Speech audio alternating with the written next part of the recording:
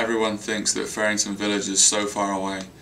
Um, I think we're in an ideal um, location. It's almost like a, a getaway within the triangle. We have much to do out here. Um, obviously, we have the inn and the restaurant. It's it's very it's very relaxing. You don't have to go very far, but if, but when you come here, it feels like you're a million miles away.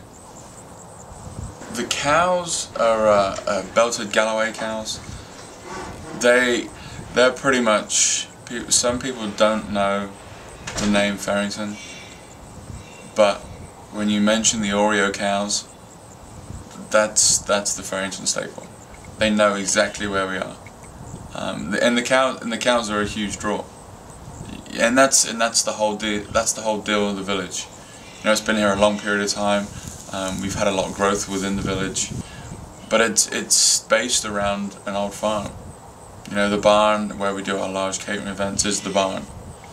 Um, the granary, which is um, a restaurant where we serve lunches during the day, that's the old the old mill.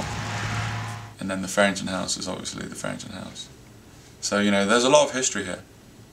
Um, there's a lot of gardens. There's there's just generally a lot of stuff for people can come out. Um, there's a lot of unique plants here.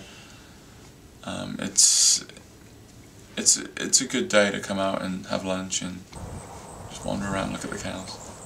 The cows around Fearrington, um, along with the black and white trademark, we also have Tennessee fainting goats, um, which we have uh, um, out in the back pasture, and then they get brought up through the village.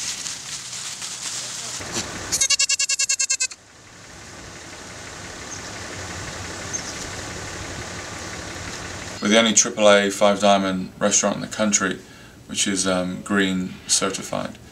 We're in an ideal situation, um, being where being where we're located. You know, what comes through the door, we um, compost, and then it gets reused in the gardens.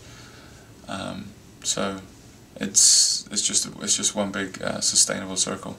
It's an experience. You know, when you come out to the Fearrington House. Uh, you know, I try and lean on as much local as ingredients as possible. I have a grower which uh, grows for us on property. We have our own herb garden.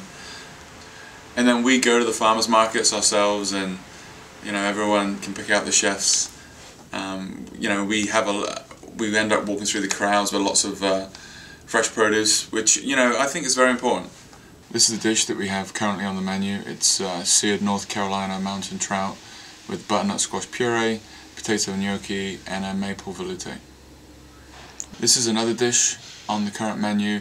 It's a smoked pork shank with cauliflower beignet, a cider sauce and truffle oil.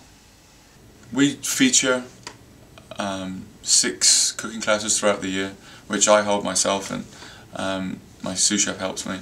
It's a, a two-day package where they come and stay at the inn and then um, they have an hors d'oeuvre reception and then they come over for a five-course tasting menu and then they, uh, they report 8 o'clock the next morning, they have their breakfast, and then we have a six to seven hour cooking class, and they eat what pretty much what they make.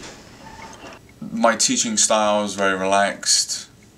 I just want people to come in and learn and have fun, and uh, and I, I, I do find them very enjoyable.